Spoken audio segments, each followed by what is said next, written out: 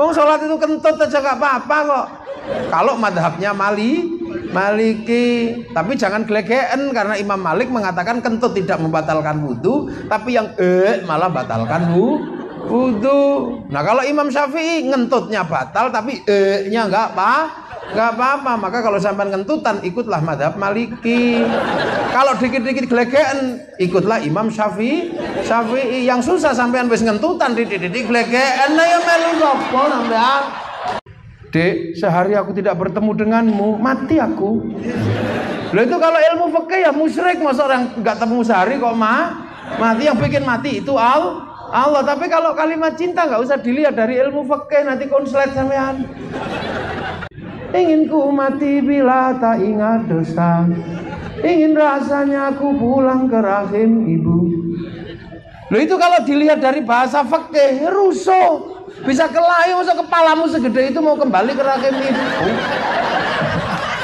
Rumah Irama, pacarnya mati, tiba-tiba bikin kalimat cinta seolah-olah dia Tuhan.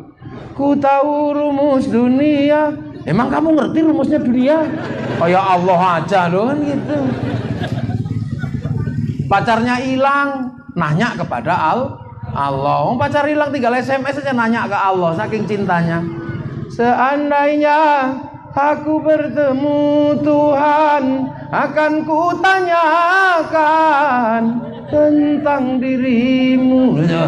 Masa pacar hilang aja tanya Allah. Inilah kalimat cinta. Nah, inilah maka orang kalau gitu biasa aja. Itu azan. Ganti dangdut rusak. Hayyalah sholat. Hayyalah sholat. Ya rusak. Wassalamun mustamirun Kullakhini ada jandat Santri yang muda Santri yang tua ya Halo ya Nabi Salam Alaika Santri tua Ya Rasulullah Salamun alik Dadadeng dadadeng Ya Rabbi Asya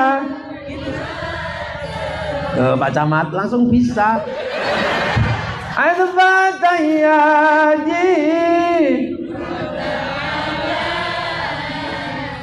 ya Oh,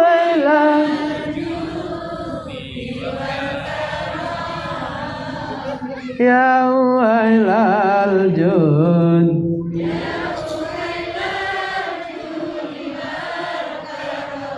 Duhai senangnya pengantin baru dereng dereng lo penggemar dangdut loh Sing orang Jawa ya diajarkan sholawat orang Jawa. Ya Nabi salam alaika. Ya Rasul salam salam. Anggelia numpak. Nah, orang Jawa. Nah, kalau orang Banjar sholawatannya semangat. Ya Rasulullah salamun alaikum Ya Rabbi asani wa daraj Al-Fatah ya J Radal alambe Ya uhailal jo Ya uhailal jo Diwal karom Kota baru gunungnya Bamega. Bamega orang Banjar. Islam yang di Indonesia itu indah dan riang gembi gembira yang Sunda ya Rasulullah salam salamun alaik Sunda eslilin lagi Lu akhirnya orang-orang se-Indonesia mengerti apa solawat? Solawatan. Terus kedatangan Habib Syekh. Solawatan coro Yaman. Ya Hanana, Ya Hanana, Ya Hanana. Ya nana Nabi Muhammad Zalikal fadlu min Allah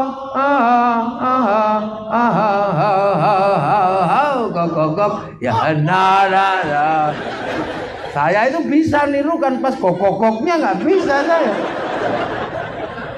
Kalau depannya taruhan saya, bagusan saya Mbok yakin bilang sama Habib saya bagusan saya kalau depannya. Tapi pas kokokoknya nggak bisa saya. Padahal yang antik yang kokokoknya itu. Yang mahal juga kokokoknya itu. Nah itu makanya karena kadang kita orang Indonesia nggak ngerti. Maka karena nggak ngerti terus tapi seneng datang aja. Bawa bendera ya no no. Muter ada gendera slang ya munggah. Gendera Iwan Fals ya munggah. Gendera bal-balan ya munggah. Lah itulah Indonesia. Tarweh ya ikutlah yang 20, jangan ikut yang 8. Ada yang yang benar 8 ya terserah kamu kalau nganggap benar 8 wong bagi saya bukan masalah benar sah salah. Kalau saya secara pribadi tarweh 20 20 mau dalilmu apa saja nggak mau saya saya tetap pakai 20 kenapa karena jelas aman kalau 20 itu aman 20 kalau di akhirat yang benar 8, saya masih punya sisa 12. Nah kalau yang benar 20, sampean yang kurang 12 cari di mana? Eh nggak tahu, Bang. Urusannya bukan benar salah, aman orang kampung kok. Bismillahirrahmanirrahim Yasin. Allahu Akbar. Wah, cepet. Orang kok bermikir. Lalu terus Allahu Akbar.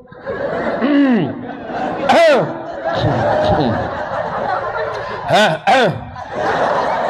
Sing buri. Iki ngopo ya iku? Sayyidina Umar itu kalau lagi khutbah itu nggak pakai tongkat, nggak pakai tombak, tapi pedang ditarik. Itu kalau itu saat masjid mengkeret kabeh kalau udah Sayyidina Umar yang khutbah. Makanya Sayyidina Ali sampai nazar orang kok begini kerasnya, Kira-kira kalau mati ditanya malaikat mungkar nakir jawabnya apa ya? Maka matinya Sayyidina Umar kuburannya dikuping sama Sayyidina Ali. Tapi karena sama-sama keramat ya denger. So, malaikat mungkar nakir sopan. Assalamualaikum. Salam. Siapa itu? Mungkar nakir ya Umar. Ada apa? Ya mau nanya. Nanya apa? Ya marobuka. Ya Allah. Nang apa lagi? Udah itu aja. Jadi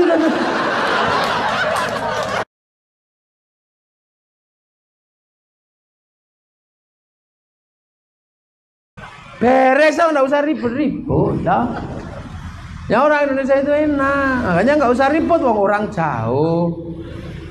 Makanya karena kita nggak kenal Rasul, kalau sohabat ya Assalamualaikum ya Rasulullah. Sohabat ketemu lah kita, nggak ketemu. Yang Jawa diajarkan ya Ras, apa diajarkan Kanjeng Nabi Muhammad lahir nang Mekah dina Senin rolas mulut Nah, itu sing desa. Sing santri ya biar kenal dengan Rasul diajarkan marhaban ya nurul aini marhaban marhaban marhaban. Jandal husaini Allah marhaban marhaban. Santri wassalamun mustamirun kullakhini jandat santri yang muda. Santri yang tua ya. Halo ya nabi salam alaika santri tua dan gitu. Santri yang penggemar dangdut di Indonesia ya diajarkan sholawatan cara dangdut.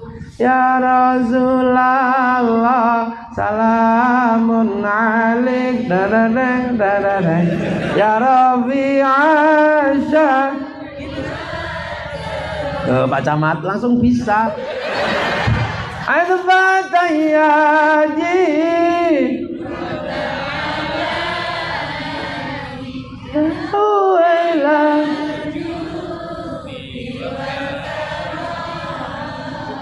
ya wailal jun.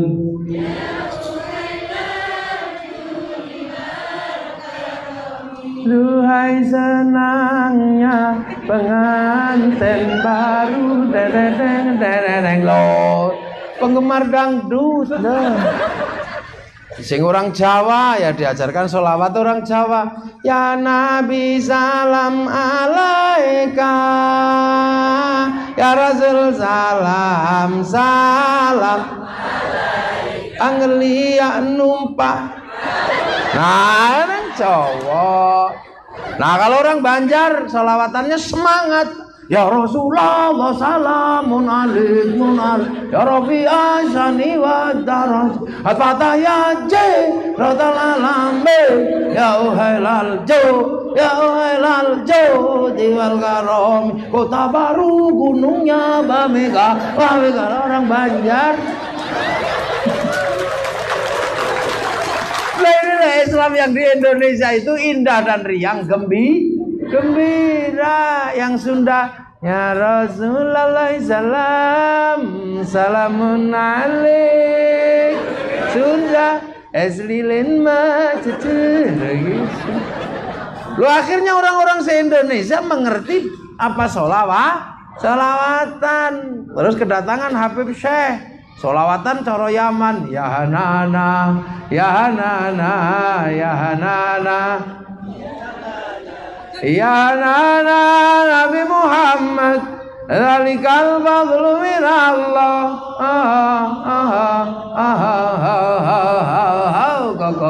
Ya hanana Saya itu bisa nirukan pas kokokoknya nggak bisa saya kalau depannya taruhan saya, bagusan saya. Mbok yakin bilang sama Habib saya bagusan saya kalau depannya.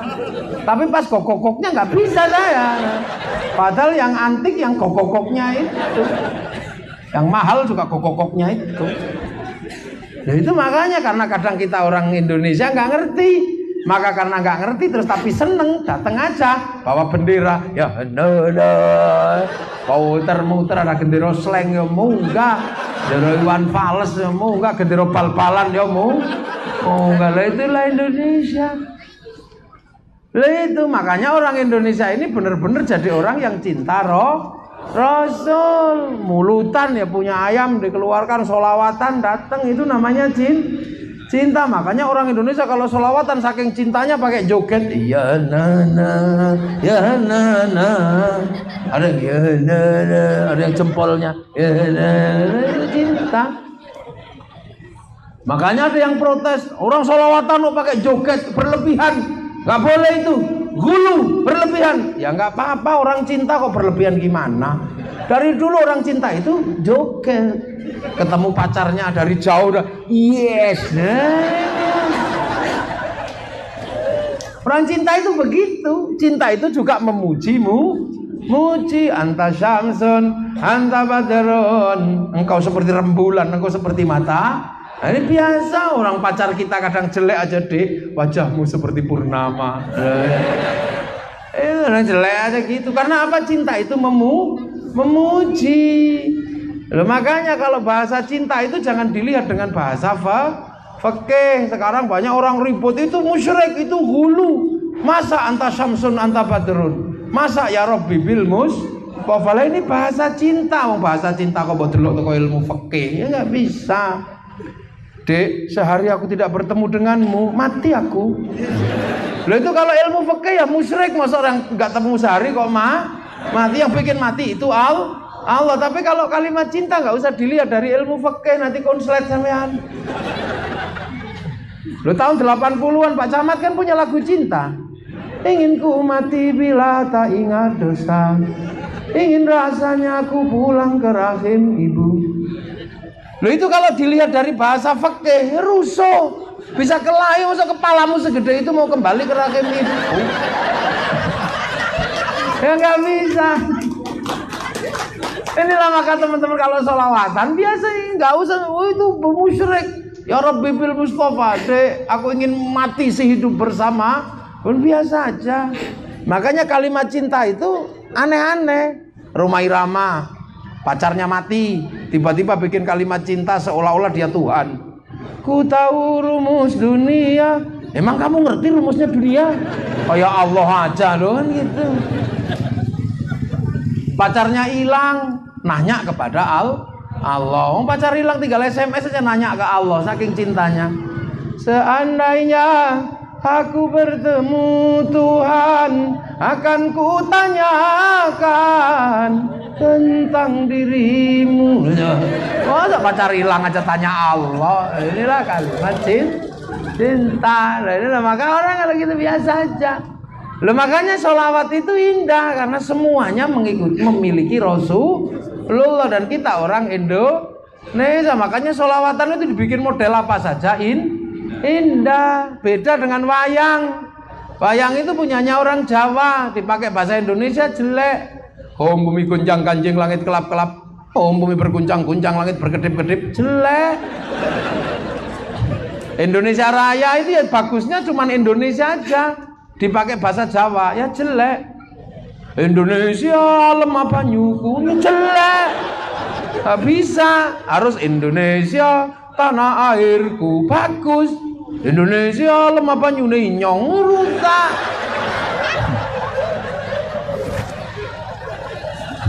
Adan Adan itu juga nggak bisa diganti-ganti. Adan itu ya gitu aja.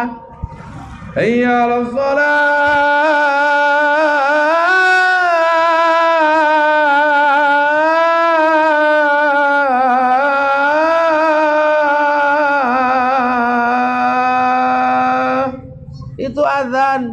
Ganti dangdut rusak. Hayya Hayya Ya rusak.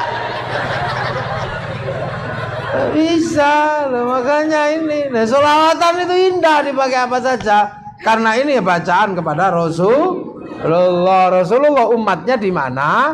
Nah, nah ini loh. Makanya orang kalau ikut ulama itu enak. Tidak ribet apalagi orang kampung ikutlah ulama yang sesuai dengan orang kampung tarweh ya ikutlah yang 20 jangan ikut yang 8 ada yang yang benar delapan ya terserah kamu kalau nganggap benar delapan. Wong bagi saya bukan masalah benar sah salah. Kalau saya secara pribadi tarweh dua puluh dua puluh mau dalilmu apa saja nggak mau saya saya tetap pakai dua puluh.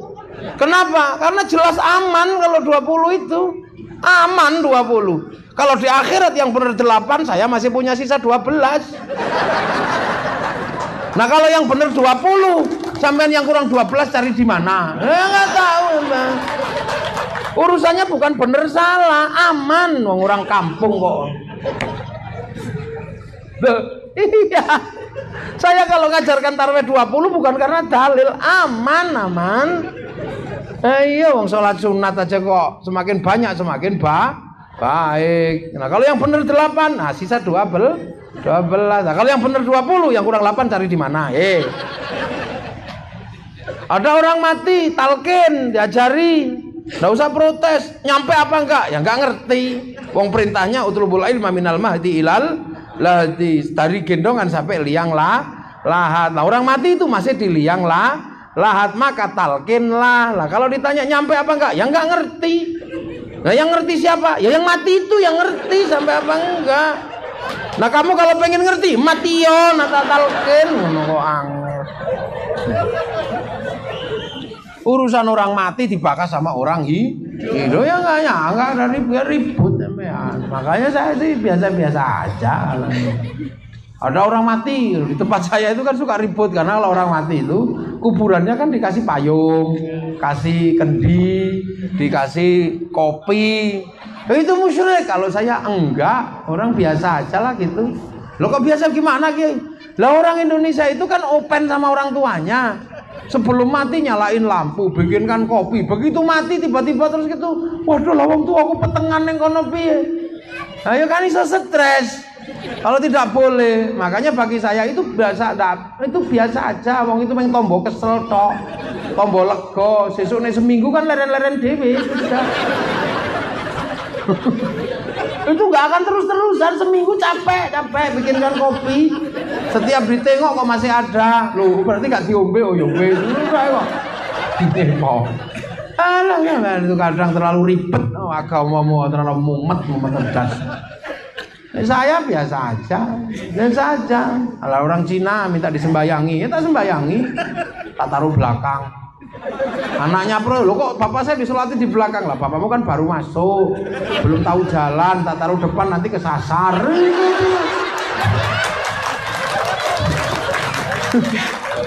saya ini urusannya di lapangan, banyak di tempat saya.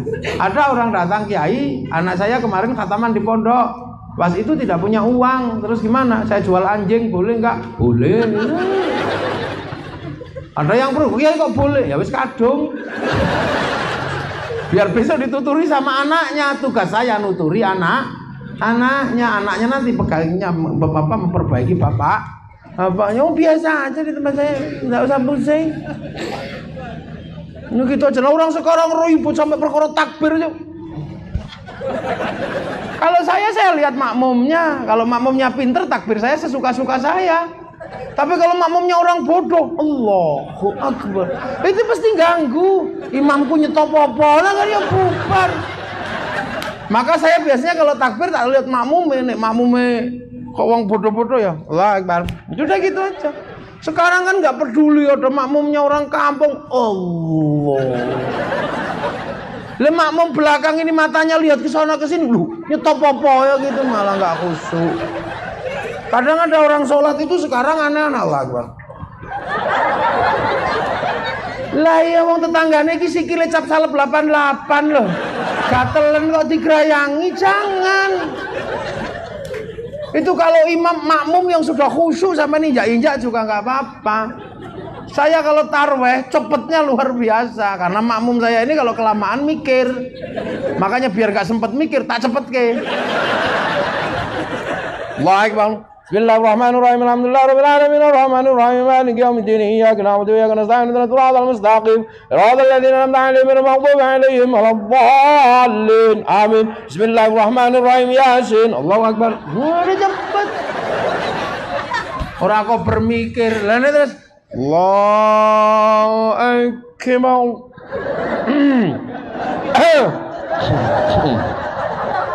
Hah, eh. Sing buri. Ini apa ya ibu? Loh jadi Islam itu indahnya luar biasa. Kalau orang mengerti il, ilmu lah sekarang Islam dipegang sama orang-orang bodoh susah kita. Oh sholat itu kentut aja gak apa-apa kok. Kalau madhabnya Mali, Maliki, tapi jangan gelegean karena Imam Malik mengatakan kentut tidak membatalkan wudhu, tapi yang eh malah batalkan wudhu. Nah kalau Imam Syafi'i ngentutnya batal, tapi eh-nya nggak apa, nggak apa-apa. Maka kalau sampai ngentutan ikutlah madhab Maliki. Kalau dikit-dikit gelegean ikutlah Imam Syafi'i. Syafi'i yang susah sampean wis ngentutan didik-didik gelegean, nah ya melu sampean. Islam itu indahnya luar biasa. Tahu. Tapi syaratnya harus berilmu. Oh, sekarang itu ada orang ribet. Sholat langsung, oh, begitu adan langsung komat. Iya yang di sawah nggak masuk sholat nanti. Sholatnya di kodol iblis. Itu, oh, Islam itu indah kok. Yang tadi kayak kiroa kayak gitu, ya ada model begitu. Zaman kalau mau yang galak ya ono model Sayyidina Umar. Sayyidina Umar itu kalau ngaji, Bismillahirrahmanirrahim. Alhamdulillahirabbil alamin. Ar-Rahmanirrahim. Itu Sayyidina Umar. Nah, kalau yang model begini tadi model Sayyidina Utsman. Bismillahirrahmanirrahim. Itu Sayyidina Utsman. Kalau model Sayyidina Ali Bismillahirrahmanirrahim. Nah,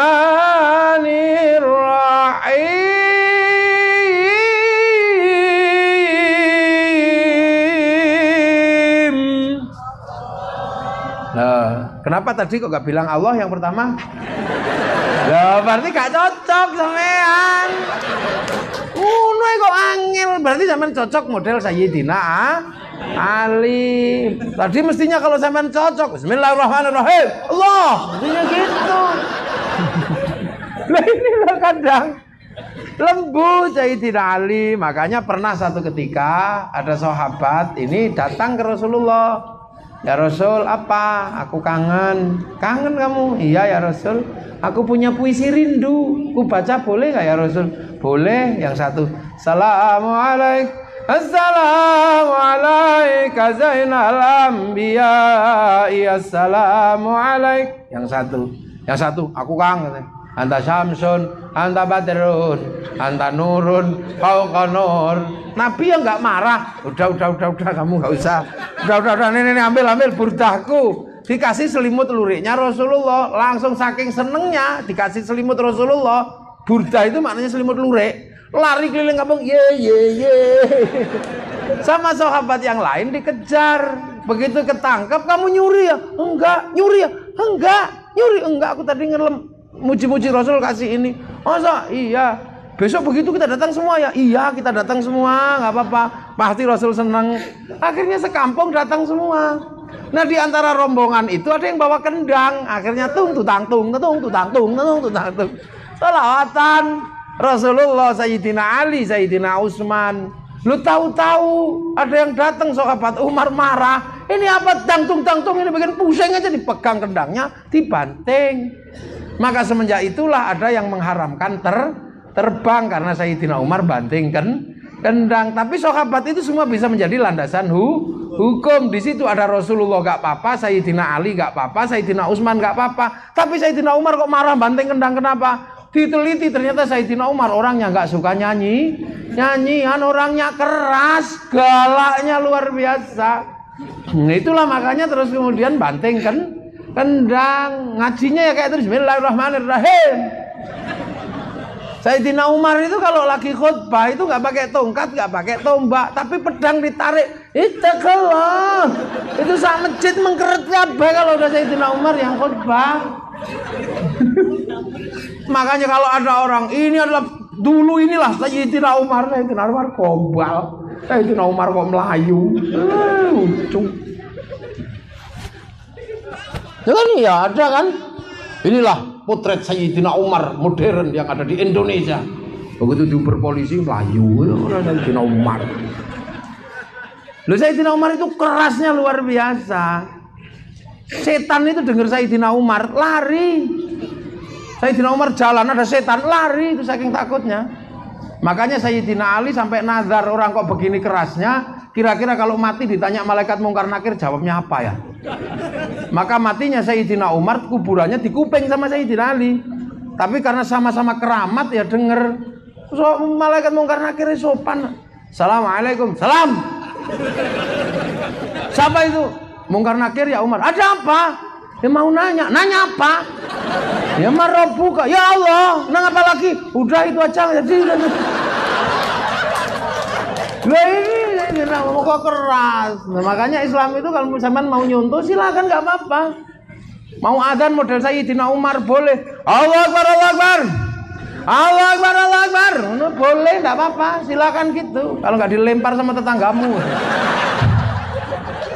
Siapa sih ngatan niku? Cangkeme suwek iku.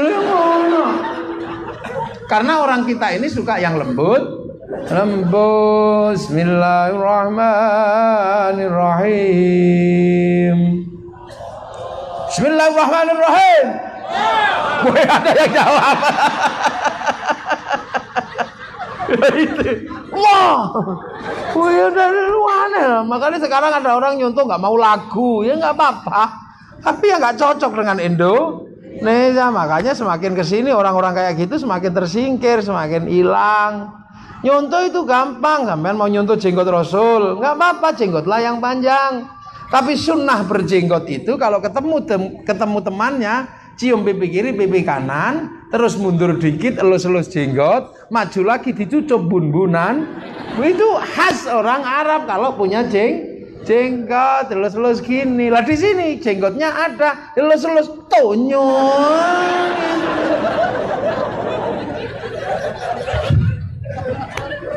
Iya jadi simbolnya di bawah akhlaknya ketinggal ketinggalan. Loh ini loh jadi Islam itu kan mengajarkan kebaikan yang membawa akh akhlak. Innama bu'aistu li utammima makarimal akhlak akhlaknya ini yang penting Perkara dulu orang kalau cingkrang itu orangnya nggak sombong. Karena orang dulunya sombong karena pakai jubah Romawi.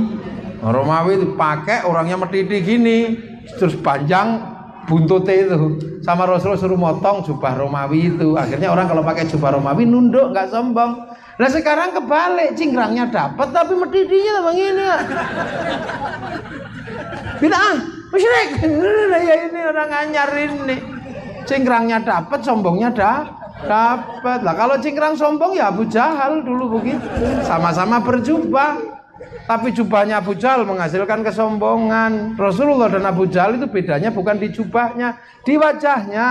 Rasulullah wajahnya basam, wajahnya tersenyum. Saya terus apa Abu Jahal wajahnya kok ya wong kebelet ngi, ngising.